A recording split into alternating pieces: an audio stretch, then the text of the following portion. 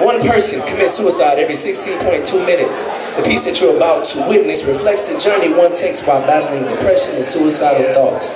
If you or anyone you know suffers from these thoughts, please call the National Suicide Hotline, 1-800-278, I'm sorry, that's 273-8255. So give it up for our next performer, Braven Sloan.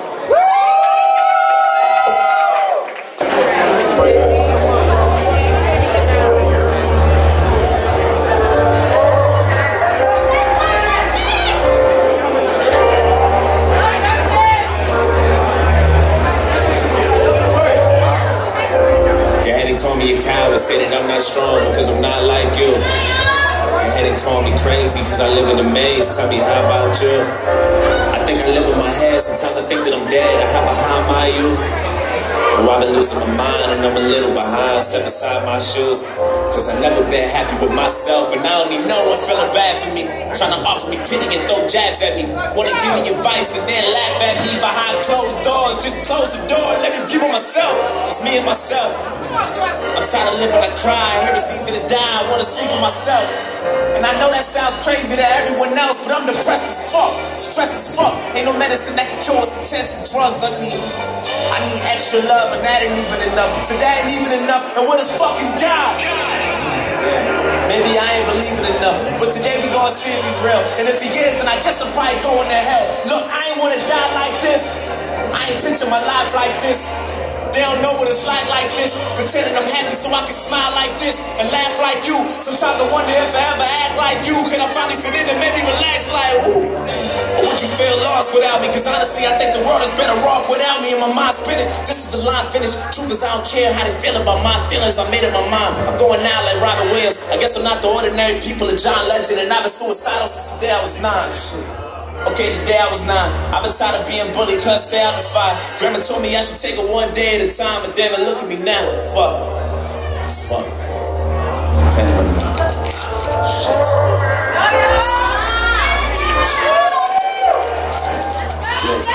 No day, but if you're reading this, then it's probably too late. Just make sure you tell my family it's okay. Sorry, it's late. Sorry, too much pain.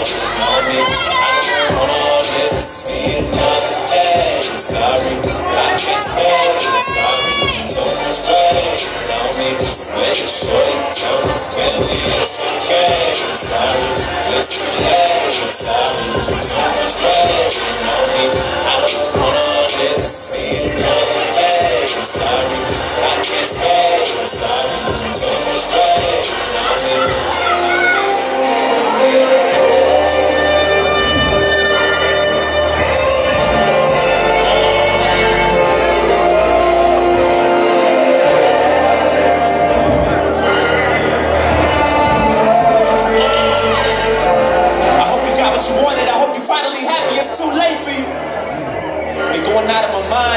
how many times that I done prayed for you.